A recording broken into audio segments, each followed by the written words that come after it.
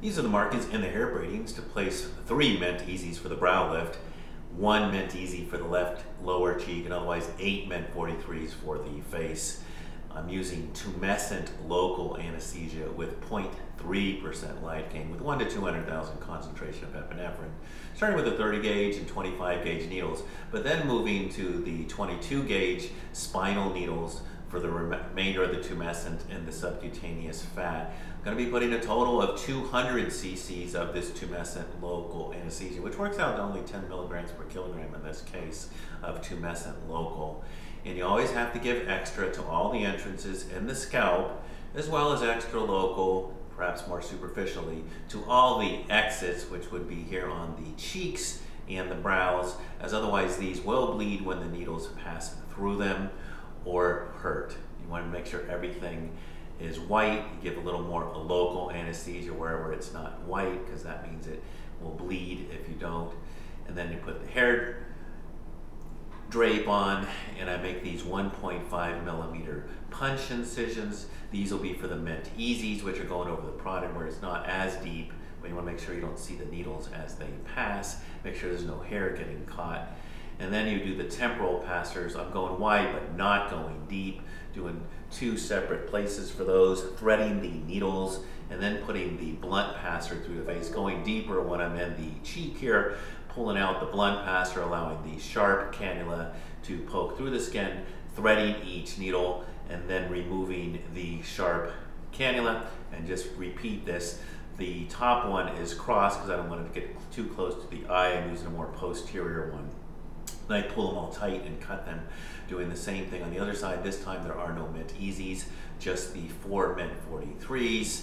I'm crossed that first one. I didn't want to get too close to the orbital rim. I started from a more posterior entrance. Otherwise, I'm just going in order. In this case, moving away from me from top to bottom. And then when they're all in there, you need to pull them as tight as you can, which I palm the skin up and then I cut them as short as I can.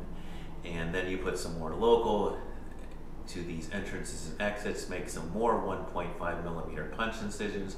I place the Mint Easy straight across the midline, coming in and out directly above the brows where I'm going to be exiting. And I pass in the sub-Q. I don't want to see the needle that much, just barely see it. I don't want it to be too deep, of course. Then you're poking out through this incision, cut it just short enough that you can pull on it later.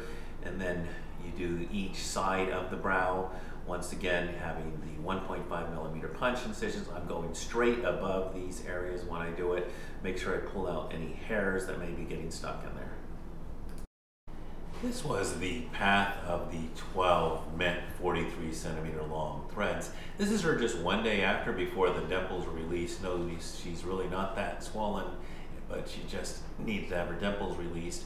They actually release very easy. They make a sound that she can hear you can feel a little pop from the threads because the first day they're not on extremely well and I was just waiting for the numbing to go away so I could decide how much to release. I didn't want to overdo it the first day.